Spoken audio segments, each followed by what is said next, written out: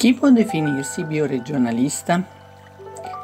Chiunque può essere bioregionalista nel luogo in cui vive, nella pratica dell'ecologia profonda, del vivere cercando di essere in sintonia il più possibile col mondo che ci circonda, in un modo in cui, pur sentendosi liberi, non si ha bisogno di provocare danni all'ambiente cercando quindi di riportare a quell'equilibrio fra l'uomo, l'ambiente e gli altri esseri viventi, che negli anni è stato più o meno inconsapevolmente stravolto.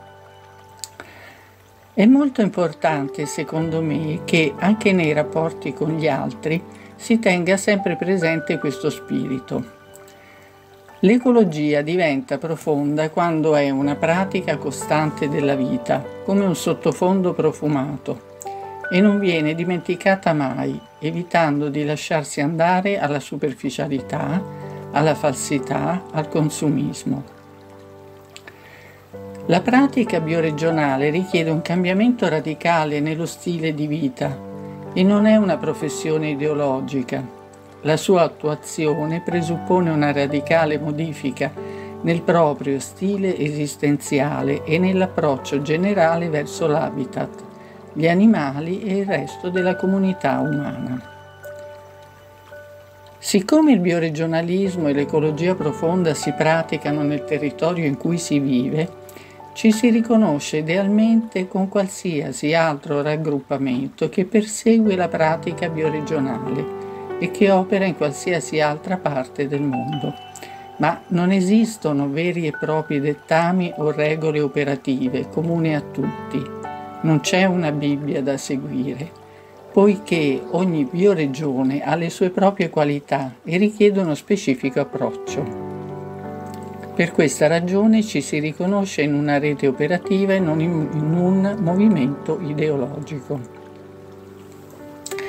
Certamente si condividono le informazioni e si cerca di dialogare ed informare, ma questa operazione viene fatta ad ampio raggio. Quando si scoprono temi affini da affrontare, ci si incontra e si discute in un cerchio di condivisione, dove non ci sono posizioni gerarchiche, ma solo presenze intelligenti e attente.